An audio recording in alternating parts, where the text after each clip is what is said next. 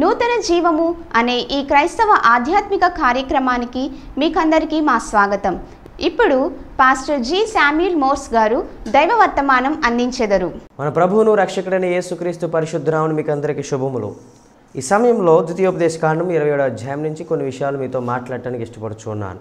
ద్వితీయోపదేశ కాండము ఇరవై ఏడో అధ్యాయంలో దేవుడైన యహోవా మోషేని అలాగే ఇస్రాయల్ పెద్దలతోని అక్కడ కూడి ఉన్న ప్రజలందరితోటి ఈ విధంగా మాట్లాడుతూ ఉన్నారు. ఏమని చెప్పాడంటే దేవుడు మోషేతో తెలియజేసిన విషయాల్ని మోషే ఇస్రాయల్ పెద్దలకి ప్రజలకి తెలియజేస్తున్నాడు. ఏమని తెలియజేశాడంటే మీరు యోర్ధానను దాటి కానాన దేశానికి ప్రవేశించిన తర్వాత మీరు చేయవలసింది ఏంటంటే మీరు పెద్ద రాళ్ళను తీసుకొని వాటిని ఏ బాలు కొండ మీద నిలవబెట్టి దాని మీద దేవుడని యహోవా తెలియజేసిన ధర్మశాస్త్ర వాక్యములన్నిటినీ కట్టడలను వాటన్నిటిని గురించి వాటి మీద రాయాలి అని చెప్పి బోధిస్తూ ఉన్నాడు.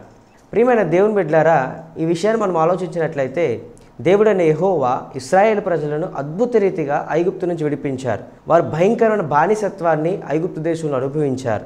అలాంటి స్థితిలో ఉన్న ఇస్రాయేల్ ప్రజలు వారి మొరను విన్న దేవుడైన యహోవా అద్భుత రీతిగా మోషేను అహరోరును ఉపయోగించుకొని వారి మధ్యన ఎన్నో ఆశ్చర్యకార్యాలు అద్భుత కార్యాలను జరిగించి వారిని విడిపించుకొని అరణ్య యాత్ర ద్వారా వారిని నడిపించుకుంటూ కానాన దేశానికి తీసుకుని వస్తున్నాడు వారు కొన్ని దినాల్లో కానాన దేశానికి వెళ్ళబోతున్నారు కాబట్టి దేవుడైన యహోవా మోషేతో ద్వితీయోపదేశ కాండం చేస్తున్నాడు అంటే రెండవసారి ఉపదేశం చేస్తూ ఉన్నాడు. ఆ ఉపదేశంలో భాగంగా మీరు కానాన దేశంకి వెళ్ళిన తర్వాత యోర్ధాన్ నది దాటిన వెంటనే యోర్ధాన్ నది అవతల కానాన దేశం ఉన్నది కాబట్టి నదిని దాటిన వెంటనే మీరు చేయవలసిన మొట్టమొదటి పని ఏంటంటే కొన్ని రాళ్ళను తీసుకుని వాటిని ఏబాలు పర్వతం మీద నిలబెట్టి దాని మీద సున్నము పూసి దాని మీద ధర్మశాస్త్ర విషయాలు వాక్యములన్నిటినీ రాయాలని చెప్పి అక్కడ ఖండితంగా బోధించినట్లు మనం చూడగలుగుతున్నాం.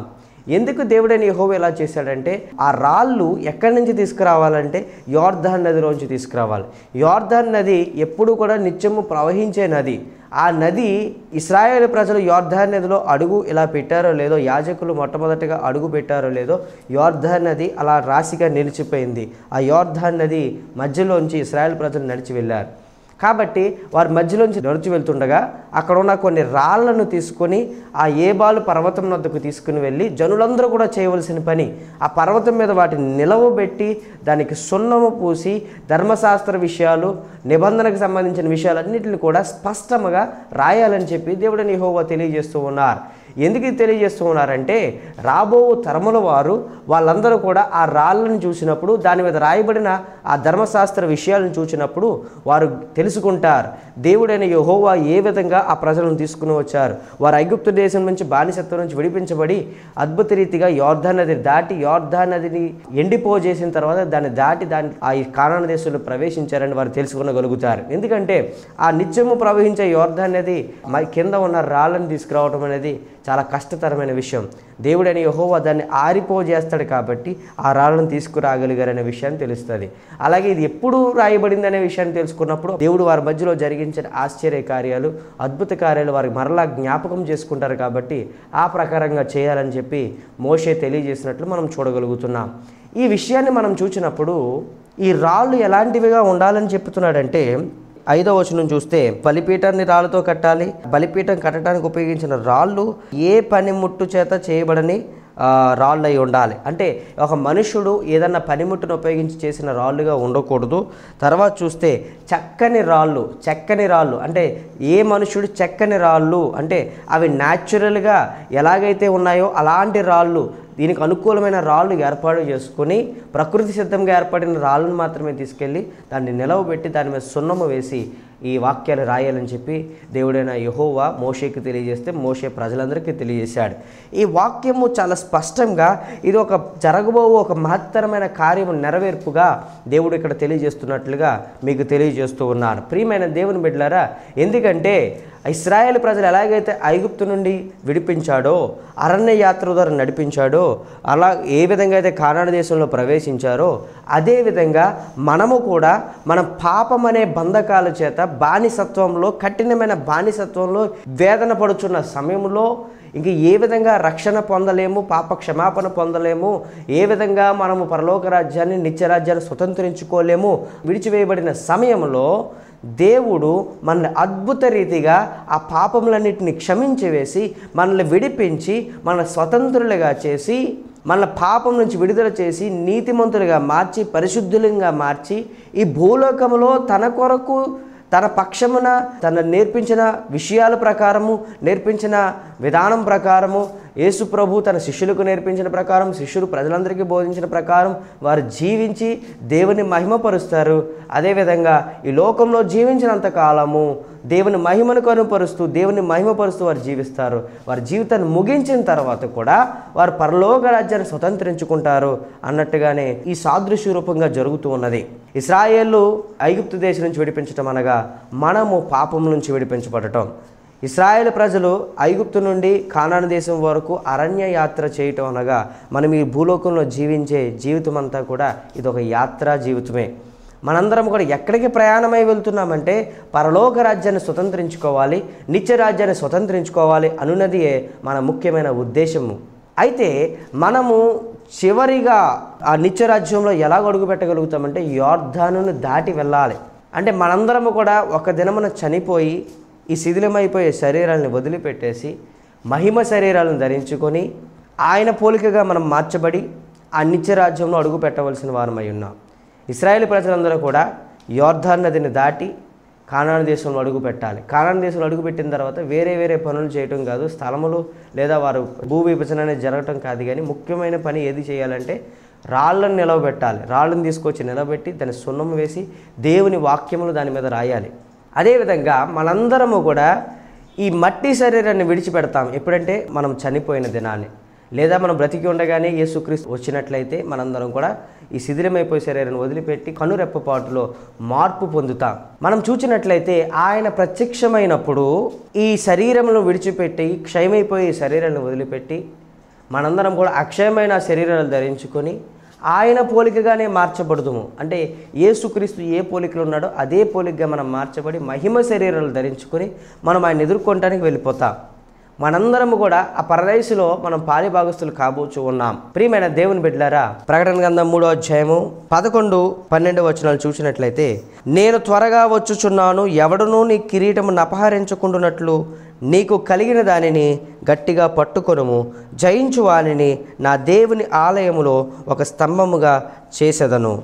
అందులో నుండి వాడు ఇక మీదట ఎన్నటికి వెలుపలికి పోడు. మరియు నా దేవుని పేరును పరలోకంలో నా దేవుని యొద్ నుండి దిగి వచ్చున్న నూతనమైన ఎరుషులేమను నా దేవుని పట్టణం పేరును నా క్రొత్త పేరును వాని మీద రాసేదను. ఈ యొక్క నెరవేర్పు సాదృశ్యంగా ఇస్రాయేల్ ప్రజలతో ఆచారప్రాయంగా దేవుడైన యహోవా అది జరిగించినట్లు మనం చూడగలుగుతూ ఉన్నాం ఇక్కడ చూసినట్లయితే నీకు ఇదిగో నేను త్వరగా రాబోచు ఉన్నాను. మీ కిరీటములను అపహరించకుండాన్నట్లు జాగ్రత్త కలిగి జీవించండి. మీరు కలిగిన దాన్ని గట్టిగా పట్టుకోండి. అది విడిచిపెట్టవద్దు. మీకున్న కిరీటాలు అంటే ఏ కిరీటాలు? రక్షణ అనే కిరీటాలు. యేసుక్రీస్తుని ఎప్పుడైతే మీ స్వరక్షకుడికి అంగీకరించి మీ పాపం ఒప్పుకొని మారు మనసు పొంది బాహాటంగా ప్రజలందరి ఎదుట బాప్తిస్వం పొందుట ద్వారా దేవుని సొంత రక్షకుడిగా అంగీకరిస్తున్నట్లు. ఎప్పుడైతే అది నువ్వు చేశావో వెంటనే దేవుడు రక్షణ అనే వస్త్రాన్ని కిరీటాన్ని నీకు ఇచ్చేస్తా ఉన్నాడు. ఆ కలిగిన కిరీటాన్ని నువ్వు విడిచిపెట్టకూడదు గట్టిగా పట్టుకోవాలి. దాన్ని ఎవరు అపహరించకుండా నువ్వు జాగ్రత్తగా చూసుకోవాలి. ఎందుకంటే ఆయన త్వరగా రానై ఉన్నాడు. ఆయన వచ్చిన తర్వాత జయించు వాణిని ఏం చేస్తానని చెప్తున్నాడంటే నా దేవుని ఆలయంలో ఒక స్తంభముగా చేసేదను. అక్కడ చూస్తే ఇస్రాయేల్ ప్రజలు తలా ఒక రాయి తీసుకువెళ్ళి ఏ బాలు ఆ పర్వతం మీద నిలవబెట్టారు. ఏ బాలు పర్వతం. ఏ బాలు అనే దానికి అర్థం ఏంటంటే తెలుసండి? మౌంటైన్ ఆఫ్ కర్స్ శాపగ్రస్తమైన పర్వతం. శాపగ్రస్తమైన పర్వతం మీద నిలవబెట్టబడిన ఈ రాయి చాలా జాగ్రత్తగా అర్థం చేసుకోవాలి. ఎవరు తలా ఒక రాయి తీసుకెళ్ళి నిలబెట్టాలి కదండి? గోత్రములకు బట్టి వారి రాళ్ళు తీసుకుని వెళ్ళాలి కదా? చెక్కబడని రాయి పనిముట్టుల చేత చేయబడిన రాయితో ఆ రాళ్ళు నిలవబెట్టాలి అలాగే బలిపీఠం కూడా కట్టాలి కదా? అదేవిధంగా దేవుని ఆలయంలో మిమ్ములను ఒక స్తంభముగా నిలబెడతానని యేసుక్రీస్తు వారు మాట్లాడుతూ ఉన్నారు ఇక్కడ. అంటే అక్కడ సూచనగా నిలబెట్టినబడిన రాయి ఇస్రాయేల్ ప్రజలందరికీ సూచనగా ఉన్నది. ఆ రాయి ఎక్కడ నిలబెట్టింది? ఏ బాలు పర్వతం మీద నిలబెట్టబడింది? ఆ పర్వతం మీద నిలవబెట్టబడిన ఆ రాయి మీద సున్నము కొట్టబడినప్పుడు ఆ రాయికి సంబంధించిన రంగు కానీ దాని యొక్క పూర్వపు స్థితి కానీ కనబడకుండా చాలా పరిశుద్ధంగా కనబడుతూ ఉన్నది.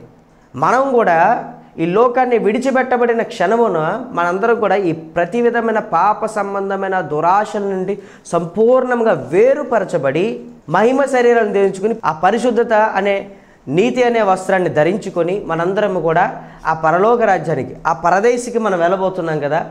ఆ పరదేశిలో మనందరినీ కూడా ఏ విధంగా చేయబోతా ఉన్నాడు దేవుడు? ఆ ఒక స్తంభంగా నిలబెడతానని చెప్తా ఉన్నాడు. ఆ స్తంభంగా నిలబెట్టిన తర్వాత దానిలోంచి ఎవరో బయటికి రాకుండా ఉంటారు. అలాగే ఆ స్తంభం మీద ఏమేమి రాస్తానంటున్నాడంటే దేవుని పేరు రాయబడుతూ ఉండదని చెప్తున్నాడు. అలాగే నూతనమైన ఎరుషులేమను నా దేవుని పట్టణము పేరు కూడా రాయబడుతుందంట.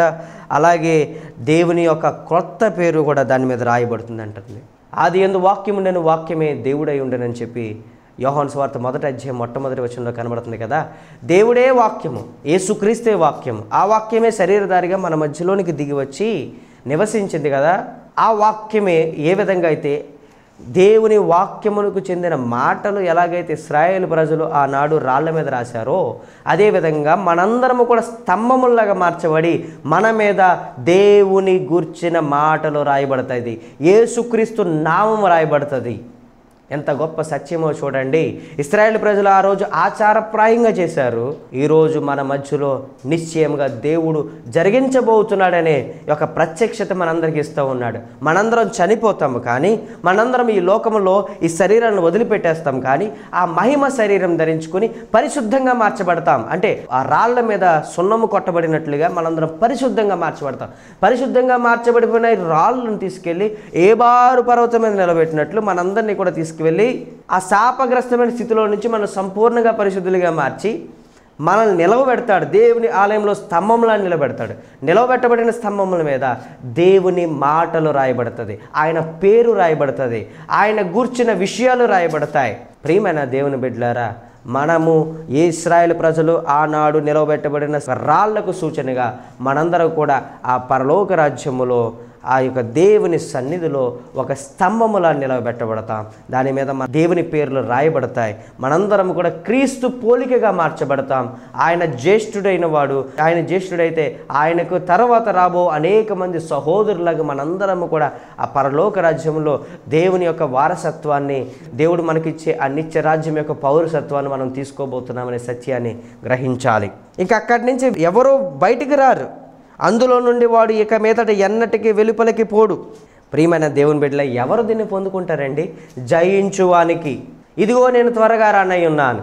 మీరు పొంది ఉన్న కిరీటాలు మీరు కలిగి ఉన్న కిరీటం ఎవరు అపహరించుకున్నట్లు మీరు దాన్ని కలిగిన దాన్ని చాలా గట్టిగా పట్టుకోండి అని చెప్తున్నాడు. ఈరోజు ఎంతమంది క్రైస్తవులు మీరు పొందిన రక్షణను చాలా సమర్పణతో చాలా ఆశతో ఎంతో గొప్ప ఆలోచనతో తృప్తిగా విశ్వాస జీవితంలో స్థిరులుగా ఉండగలుగుతున్నారా?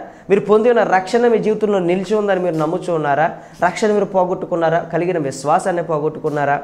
ఇదిగో నేను త్వరగా రాని ఉన్నాను మీరు కలిగిన కిరీటాన్ని ఎవరు అపహరించుకున్నట్లు జాగ్రత్తగా పట్టుకోండి అని చెప్తా ఉన్నాడు. చాలామంది విశ్వాసాలు వెనకబడుతున్నారండి. రక్షణ పొందిన తర్వాత చాలా భక్తి చేస్తారు చాలా ప్రార్థన చేస్తారు. దేవుని అందరి భయభక్తులు కలిగి జీవిస్తారు విశ్వాసం కలిగి ప్రవర్తిస్తూ ఉంటారు. విశ్వాస జీవితం అనేది చాలా బాగుంటుంది. చాలా బాగా కొనసాగిస్తారు. అయితే కొంత సమయం గడిచిన తర్వాత కొన్ని దినాలు గడిచిన తర్వాత కొన్ని సంవత్సరాలు గడిచిన తర్వాత వెనకబడిపోతున్నాం. మనం పొంది ఉన్న ఆ యొక్క రక్షణ అనే కిరీటాన్ని మనం పోగొట్టుకుంటున్నాం. విశ్వాసంలో వెనకబడిపోయిన స్థితిని అవిశ్వాసం మన జీవితంలో ప్రవేశిస్తూ ఉంటుంది. అలాంటి వారు ఎవరూ కూడా ఆ పరలోక రాజ్యంలో స్తంభములాగా నిలబడే స్థితి లేదు. ఇస్రాయిల్ ప్రజలు కూడా చాలామంది ఐగుప్తు దేశంలో ప్రయాణం ప్రారంభించారు. కానీ వారి యొక్క అవిశ్వాసము ద్వారా వారి యొక్క అవిధేయత బట్టి వారి యొక్క దేవునికి తిరుగుబాటు చేసే యొక్క తత్వమును బట్టి వారు మధ్యలోనే మరణించి చనిపోయారు. వారు వాగ్దాన భూమిని స్వతంత్రించుకోలేకపోయారు. మనము కూడా రక్షణ పొంది ఉన్నాం. దేవుణ్ణి మన సొంత రక్షకుడు అంగీకరించాం. నిజమైన దేవుని తెలుసుకున్నాం. ఆయన కొరకు జీవిస్తామనే ఒక సమర్పణ కలిగిన మన జీవితాన్ని ప్రారంభించాం. అయితే చాలామంది సంఘాలను విడిచి బయట తిరుగుతూ ఉన్నారు. విశ్వాస జీవితంలో వెనకబడిపోతూ ఉన్నారు. దేవుని ఎడల నమ్మకం అనేది కోల్పోతూ ఉన్నారు. కలిగిన దాన్ని గట్టిగా పట్టుకోండి. ఎవరైతే జయించు వారైతే ఉంటారో ఆ యాత్రను చివరి వరకు కొనసాగించి యోర్ధాను దాటి కానాను దేశంలో అడుగు పెట్టగలుగుతారో. వారే ఆ రాళ్ళగా నిలబెట్టగలుగుతారు. వాళ్ళే దేవుని ఆలయంలో స్తంభములా నిలబడగలుగుతారని దేవుని వాక్యమును బట్టి మీకు హెచ్చరిస్తూ ఉన్నారు మీరు ఎంత సీనియర్ విశ్వాసులైనా కానీ చాలా జాగ్రత్త కలిగి వ్యవహరించాలి. విశ్వాస జీవితాన్ని చాలా జాగ్రత్తగా మీరు కొనసాగించేవారై ఉండాలి. విశ్వాస జీవితంలో స్థిరులుగా ఉండాలి. స్థిరత్వాన్ని కోల్పోకూడదు. స్థిరత్వం మనం కలిగి జీవించాలి. చాలా ఓపికగా కనిపెట్టాలి. నిరీక్షణ కలిగి నివసించాలి. ఇదిగో ఇక్కడ చెప్తున్నాడు కదా పదకొండవ వచనంలో నేను త్వరగా వచ్చుచున్నాను. నేను త్వరగా వచ్చుచున్నాను. మీరు ధైర్యం చెడిపోకూడదు. నిరీక్షణ కోల్పోకూడదు. అవిశ్వాసం మీ జీవితంలో రాకూడదు. నేను త్వరగా రాబోచున్నాను కాబట్టి మీరు సిద్ధ మనస్సుకులై ఉండాలి. విశ్వాస జీవితంలో స్థిరులై ఉండాలి. కానాను దేశంలో అడుగుపెట్టిన ఇస్రాయేల్ ప్రజలు వారు మాత్రమే ఆ యోర్ధాన్ నదిలోంచి చెక్కబడని రాళ్ళు. చెక్కబడని రాళ్ళు అనే పదం ఎందుకు వాడారో తెలుసండి? మనుషుల చేత చెక్కబడని రాళ్ళు. ఏ పనిముట్టు చేత రా చేయబడని రాళ్ళు దేవుని చేత మాత్రమే కలుగు చేయబడిన ఆ రాళ్ళు తీసుకోవాలి. అంటే మన క్రియల ద్వారా మనం ఆ పరలోక రాజ్యంలోనికి వెళ్ళటం లేదు. మన క్రియల ద్వారా ఆ రాళ్ళను మనం ఒక షేప్లోకి తీసుకురావటం లేదు. మనం పరిశుద్ధులుగా మార్చబడటానికి మనం దేవుని నుండి రక్షణ పొందుకోవటానికి ఆ పరలోక రాజ్యంలో ప్రవేశించటానికి మన క్రియలు కారణము కాదు మన సామర్థ్యము కారణము కాదు. కానీ దేవుని యొక్క ఉచితమైన కృప ద్వారా దేవుడే ఏర్పాటు చేసిన ఈ యొక్క జీవితం. దేవుడే ఉచితంగా ఇచ్చిన రక్షణ. ఏ ఒక్క వ్యక్తి కూడా ఈ రక్షణ పొందటానికి అర్హుడు కాదు కానీ దేవుడే ఉచితంగా అందరికీ రక్షణనిస్తూ ఉన్నాడు కాబట్టి ఈ రాళ్ళు దేవుని చేతే ఏర్పాటు చేయబడ్డాయి. ఏ మనుషుడు చెక్కలేదు ఏ పనిముట్టు వాడబడలేదు కానీ దేవుడే మనల్ని పరిశుద్ధులుగా మారుస్తూ ఉన్నాడు. కాబట్టి చెక్కబడని రాళ్ళు ఏ పనిముట్టు చేత చేయబడని రాళ్ళను ఎన్నుకొని దేవుడు పరలోక రాజ్యంలో ఒక స్తంభంలా నిలబెడతా ఉన్నాడు కదండి. ఏ ఒక్క మనుషుడు కూడా తమ క్రియలను బట్టి దేవుని ఎదుట అత్యయించడానికి వీలు లేదండి. మనందరం కూడా దేవుని ఎదుట తగ్గింపు మనసు కలిగి ఉండాలి. విశ్వాస జీవితంలో స్థిరులమై ఉండాలి. చాలామంది విశ్వాస జీవితంలో వెనకబడుతున్నారు ప్రార్థనా జీవితం కోల్పోతున్నారు బైబిల్ చదవటం మానేస్తూ ఉన్నారు చర్చెస్కి వెళ్ళటం మానేస్తూ ఉన్నారు వెనకబడిపోతూ ఉన్నారు. ఇదిగో నేను త్వరగా వచ్చుచున్నాను. జయించు వారిని నా దేవుని ఆలయంలో స్తంభములా నిలబెట్టబోతూ ఉన్నాను. వాడు ఇక్కడ ఎన్నడూ వెలుపలకి పోడు. ఎప్పటికీ పరలోక రాజ్యం నిలవగలుగుతాడు. ఏ సమయంలో కూడా ఎప్పటికీ కూడా ఏ పాపం మన దరి చేరని సంపూర్ణమైన స్థితిలోనికి ఉన్నతమైన స్థితిలోనికి దేవుడు మనల్ని తీసుకెళ్ళబోతూ ఉన్నాడండి. ఆ దేవుని ఆలయంలో నిత్యము యుగ యుగములు ఆయనతో పాటు ఉండబోతూ ఉన్నాం. ప్రియమైన దేవుని బిడ్డలారా ఈ వాక్యమును వింటున్న మీరందరూ కూడా విశ్వాస జీవితంలో ఏ విధంగా ఉంటున్నారో గమనించుకోండి. స్థిరమైన విశ్వాసం కలిగి ఉండండి. వెనకబడిపోయిన వారు ఎవరైనా కానీ సమయం గతించలేదు. ఇప్పటికైనా మరల త్రోవలోనికి రండి. విశ్వాస జీవితాన్ని కొనసాగించండి. ఒక చిన్న బిడ్డ పుట్టినప్పుడు పడుకుని ఉంటుంది. ఎక్కడికి కదలలేదు. కొంతకాలంకి పాకగలుగుతుంది. కొంతకాలం మనకి చిన్న చిన్న అడుగులు వేస్తారు తర్వాత తప్పడు అడుగులు వేస్తారు తర్వాత పరిగెట్టగలిగిన శక్తి కలిగి ఉంటారు. మనం కూడా విశ్వాస జీవితంలో ఒకప్పుడు మనకి విశ్వాసం అనేది లేదు. దేవుడు విశ్వాసాన్ని అభివృద్ధి చేస్తూ ఉన్నాడు కాబట్టి మనం కూడా విశ్వాస జీవితంలో స్థిరులమై ఉండి విశ్వాస జీవితాన్ని కొనసాగించే వారమై ఉండాలని నేను వాక్యం బట్టి మీకు అందరికీ తెలియజేస్తూ ఉన్నాను. కాబట్టి మనందరము కూడా నిత్య రాజ్యముల్లో దేవుని సన్నిధిలో స్తంభములా నిలబడిన స్థితిని దేవుడు ఇవ్వబోతూ ఉన్నాడు కాబట్టి ఆ విషయంలో ఎక్కడ కూడా సంశయం లేకుండా విశ్వాసాన్ని కొనసాగిద్దాం. ఇదిగో నేను త్వరగా రానై ఉన్నాను. మీరు కలిగి ఉన్న కిరీటాలు ఎవరు అపహరించకుండానట్లు కలిగిన దానిని గట్టిగా పట్టుకొనుడి. దేవుడు మిమ్మల్ని అందరిని గాక. ప్రార్థన చేద్దాం. అందరు కళ్ళు మూసుకోండి. మహాపరిశుద్ధురా గనుడా నీ నామానికి వందనము తండ్రి. ఆనాడు ఇస్రాయేల్ ప్రజలు తండ్రి యోద్ధాను నదిని దాటిన వెంటనే తండ్రి యోద్ధాను నదిలో నుండి తండ్రి చక్కబడిన రాళ్ళను తీసుకువెళ్ళి తండ్రి ఏబాలు పర్వతం మీద నిలవబెట్టి తండ్రి దానికి సున్నమ్మ వేసి దేవుని వాక్యంలో నిబంధన మాటలు తండ్రి వారు రాసి ఉన్నారు తండ్రి. అదేవిధంగా మేమందరం తండ్రి ఐగుప్తు దేశం అనే ఒక బానిసత్వం కఠినమైన పాపములకు సంబంధించిన బానిసత్వం నుంచి విడిపించబడి స్వతంత్రులుగా చేయబడి ఈ లోక జీవితంలో యాత్రను కొనసాగించి తండ్రి దేవా మేము చనిపోయినా కానీ తండ్రి ఆ మహిమ శరీరం పొందగలమని నిరీక్షణ మాకు ఇచ్చావు తండ్రి. లేదా నీవు మేము బ్రతికి ఉండగానే నీ ఆగమనం వస్తే తండ్రి మధ్యాకాశంలో నీకు నీవు వచ్చి తండ్రి మేమందరము తండ్రి మమ్మల్ని పిలవబోతున్నావు తండ్రి. కనురెప్పపాట్లో మమ్మ ఈ శిథిలమైపోయే శరీరాన్ని వదిలిపెట్టేసి మహిమ శరీరం ధరించుకుని తండ్రిని ఎదుర్కొంటానికి మధ్యాకాశానికి మేము వచ్చి తండ్రిని ఎదుర్కొనే వారంగా మమ్మల్ని చేయబోచున్నావు తండ్రి. జయించువారు మాత్రమే ఆ పరదేశంలోనికి రాబోతూ ఉన్నారని తెలియజేస్తున్నావు తండ్రి. జయించువారు మాత్రమే తండ్రి ఆ పరలోక రాజ్యంలో తండ్రి ఒక స్తంభములాగా నిలవబెట్టగలుగుతారని ప్రభు నువ్వు ప్రకటించేసావు తండ్రి చెక్కబడని రాళ్ళు ఎ- నిలవబెట్టబడి సున్నము కొట్టబడి తండ్రి. వాక్యం ఎలాగైతే రాయబడి ఉన్నది తండ్రి. మేమందరం స్తంభంలో నిలవబెట్టబడిన తర్వాత ఆ స్తంభం మీద నీ పేరును రాస్తావని ప్రభు తెలియజేసావు తండ్రి. నిజమే ప్రభు ఇస్రాయేల్ ప్రజలు చాదృచురుపుగా అక్కడ చేశారు తండ్రి. నిజముగా రానున్న దినాల్లో తండ్రి రాబో సంవత్సరాలు తండ్రి నీ ఆగమనంలో తండ్రి మమ్మల్ని అందరినీ తీసుకువెళ్ళి తండ్రి మమ్మల్ని అందరి స్తంభంలో నిలబెట్టబోచున్నామని మేము నమ్ముచున్నాము తండ్రి. నీ కృపను మా ఎడల విస్తారముగా చేసి తండ్రి చెక్కబడని రాయిగా ఉన్న మమ్మల్ని తండ్రి కృప చేత మమ్మల్ని జ్ఞాపకం చేసుకుని పరలోక రాజ్యానికి వారసులుగా చేసావు తండ్రి. మా క్రియలు కాదు మా సామర్థ్యం కాదు కానీ తండ్రి నీ ఉచితమైన కృప ద్వారానే మమ్మల్ని తండ్రి పరలోక రాజ్యమునికి వారసులుగా చేశారు. విత్తబడిన వాక్యమును ప్రతి ఒక్కటి ఫలింపు చేయండి. వినిన ప్రతి ఒక్కరు తండ్రి తమ జీవితాలు సరి చేసుకుని తండ్రి కలిగిన కిరీటములు తండ్రి నీతి అనే వస్త్రాన్ని కోల్పోకుంటున్నట్లు తండ్రి కలిగిన దాన్ని గట్టిగా పట్టుకోండి అని తెలియజేసినట్లుగా వారికి పట్టుకున్నట్లు సహాయం చేయండి. చెవి కలిగిన ప్రతి ఒక్కడు తండ్రి ఆత్మ చెప్పుచున్న మాటలు వినును కాకని తెలియజేసినట్లు తండ్రి మేమందరం తండ్రి చెప్పబడిన వాక్యమును హత్తుకుని తండ్రి మా జీవితాలు సరి చేసుకునే వారుగా చేయమని. నీవే మహిమ ఘనత ప్రభావాలు పొందని యేసు పరిశుద్ధ నామమున వేడుకుంటున్నాం తండ్రి.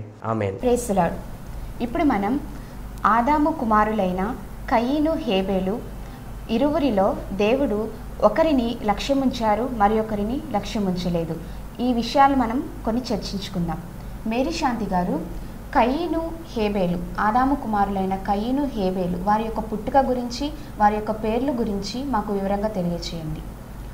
ఆదాము హవ్వకు సంతానమైన కయీను హేబేలు వారు పుట్టినప్పుడు హవ్వ కయ్యను పొందుకున్నప్పుడు యహోవ దయవలన నేను కుమారుని సంపాదించుకున్నానని చెప్పి కయ్యను అని పేరు పెట్టింది. కయ్యను అనగా పొజిషన్ అంటే అదేం సిగ్నిఫై చేస్తుందంటే దేవుడు దయతో ఇచ్చిన స్వాస్థ్యం అని హేబేలు అనగా నిరర్ధకము లేకపోతే వ్యర్థము అన్న అర్థాన్ని ఇస్తున్నది. స్వాస్థ్యమైన నిరర్ధక వ్యక్తులైన దేవుడు నిర్ణయించిన విధానంలో దేవుని వద్దకు వెళ్ళినప్పుడు దేవుడు కృపనివ్వడానికి సిద్ధంగా ఉన్నాడు. దేవుని విషయంలో కయీను హేబేలు ప్రవర్తనలో తేడా ఏమన్నా ఉందా? దేవుడు కయీన్ని హేబేల్ని ఒకేలా ప్రేమించాడంటారా? దేవుడు ఖచ్చితంగా అందరినీ ఒకే రీతిగా ప్రేమిస్తాడు. ఆయన ఎంత మాత్రం పక్షపాతి కాదు. కయ్యనుని హేబేల్ని ఒకే రీతిగా దేవుడు చూస్తూ ఉన్నాడు. ఇద్దరిని ఒకే రీతిగా ప్రేమిస్తూ ఉన్నాడు. కయ్యన్ దగ్గరికి ప్రేమతో వెళ్ళి నీ తమ్ముడైన హేబేల్ ఎక్కడని అడుగుతున్నాడు? నీవెందుకు కోపం ఉంచుకున్నావు?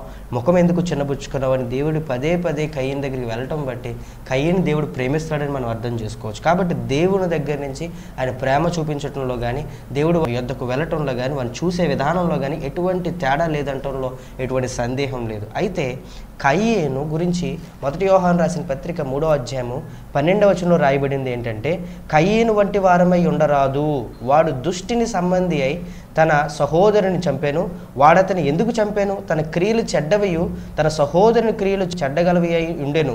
కనుకనే కదా అని ఇక్కడ రాయబడింది. దాని అర్థం ఏంటంటే వాడు మొదటి నుంచి దుష్టిని సంబంధిగా ఉండి సత్క్రియలు చేయని వాడై క్రియలన్నీ కూడా చెడ్డవై ఉండి కూడా అతడు మనస్సులో కూడా చెడ్డ బీజం కలిగిన వాడై ఉండి చెడ్డ క్రియలు చేస్తూ వస్తున్నాడు. ఆ కారణం చేత దేవుని యొక్క అర్పణ తీసుకుని వచ్చినప్పుడు కయ్యను అర్పణ దేవుడి చేత అంగీకరించబడలేదు. అంగీకరించబడకపోయినను కయ్యను దేవుడు ద్వేషించట్లేదు. కయ్యను యొద్దకు వచ్చి ఎందుకు కోపం ఉంచుకున్నావు? అయింది ఏదో అయిపోయింది. ఇప్పటికైనా నా యొద్దకు రా అన్నట్లుగా దేవుడు వచ్చినప్పుడు కూడా కయ్యను ఏ మాత్రం స్పందించకుండా అలాగే ఉన్నట్లు మనం చూడగలుగుతున్నాం. రెండవసారి హేబేల్ని చంపినప్పుడు కూడా కయ్యని వద్దకు దేవుడు వెళ్ళి మాట్లాడుతున్నాడు. ఏమని అడుగుతున్నాడు నీ తమ్ముడైన హేబేలు ఎక్కడా అని అడుగుతున్నాడు. దేవునికి తెలియక కాదు. దేవుడు సమస్తం ఎరిగిన వాడే ఆయన వద్దకు వెళ్ళాడు. వెళ్ళినప్పుడు ఆయన ఆలోచించింది ఏంటి? ఆయన ఎటువంటి ఉద్దేశంతో వెళ్ళాడంటే కయ్యను ఒకవేళ తన మనస్సు మార్చుకొని దేవుని యొద్ద పాప క్షమాపణ అడుగుతాడేమని ఎదురు చూసి ఉండవచ్చు. కయ్యని ఎటువంటి మార్పు లేకుండా నా తమ్ముడైన హేబేలకు నేను కావలివాడనా అని ఎదురు ప్రశ్నించటం వల్ల దేవునికి విరోధంగా మొదటి నుంచి కయ్యను ప్రవర్తించటం వల్ల దేవుని యొద్ద నుండి కయ్యను శాపం పొందుకున్నాడు. వీరిరువురి అర్పణలో ఒకరి అర్పణ దేవుడు స్వీకరించారు మరి ఒకరి అర్పణను తిరస్కరించాడు. ఎందుకనంటారు? అర్పణ అనేది ఎవరర్పించినా దేవుడు నిర్ణయించిన విధంలో దేవునికి అంగీకారమైన అర్పణగా ఉండాలి. కయ్యను ఇప్పుడు మనం విన్నాక దుష్టుని సంబంధి. అంటే అతని హృదయంలోనే ఒక చెడ్డ ఆలోచన అతను ప్రేరేపించింది. ఆ చెడు మార్గం వైపు అతన్ని నడిపించింది. అంటే the malaise in the heart ends to murder by the hands అంటే అతని హృదయంలో ఉన్న ఆ చెడు ఆలోచనే అతనిని చేతులతో హత్య చేయించినట్లుగా తీసుకొని వెళ్ళి ఉంటుంది. తద్వారా అతని విశ్వాసమును బట్టి వారిద్దరిలో కూడా అర్పణలు అంగీకరించబడడం అంగీకరించబడకపోవడం అనేది ఉంది.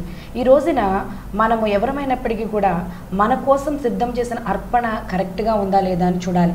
దేవుడు నిర్ణయించిన విధంగా హేబేలు చూసుకున్నట్లయితే అతడు నేను పాపిని కేవలము ఈ అర్పణ వల్లనే నా నీతి ఏమాత్రము ఎన్నదగినది కాదు.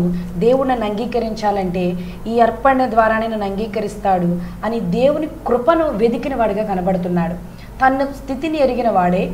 తన నీతిని ప్రజెంట్ చేసుకోవట్లేదు కానీ ఆ ప్లేస్లో దేవుని నీతి కొరకే అతడు అపేక్షిస్తూ ఆ నీతి ద్వారానే నేను యోగ్యుడను దేవుని ఎదుట నేను అంగీకరించబడగలను అని అతను చూశాడు. కయ్యను అయితే తన తన సెల్ఫ్ రైచియస్నెస్ని సొంత నీతిని దేవుని దగ్గర ప్రజెంట్ చేసి దేవుని మెప్పుని పొందుకోనాలని ప్రయత్నం చేస్తున్నాడు.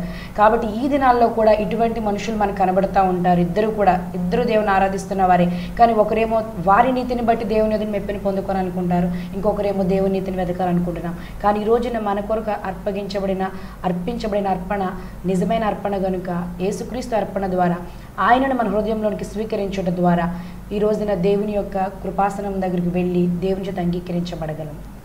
ఈ సందర్భం గురించి మనం తెలుసుకోవాల్సిన విషయాలు ఏంటి? కాబట్టి ప్రియ దేవుని బిడ్డలారా యేసుక్రీస్తు వారు చెప్పారు ఎవరైనా అర్పణ అర్పించడానికి దేవుని సన్నిధిలోకి వెళ్ళినప్పుడు వారు ఒకవేళ విరోధముగా వారి క్రియలు చెడ్డవై ఉంటే అది జ్ఞాపకం వస్తే వెంటనే వెళ్ళి సమాధానం పొందిన తర్వాత అర్పణ అర్పించమని చెప్పాడు.